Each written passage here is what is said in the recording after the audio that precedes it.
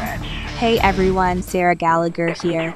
Today I wanted to share with you all a truly mind blowing experience that happened to me recently. But before we get into that, let's kick things off with match of Team Deathmatch in Call of Duty Black Ops. that was intense. Now let's get into the main topic of today's video. So, the other night I had my first paranormal encounter, and let me tell you, it completely changed my perspective on the supernatural. I was just getting ready to hit the hay when I heard strange noises coming from the hallway.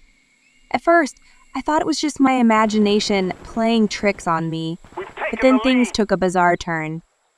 Doors were opening and closing on their own, objects were moving inexplicably, and I could feel a presence in the room with me.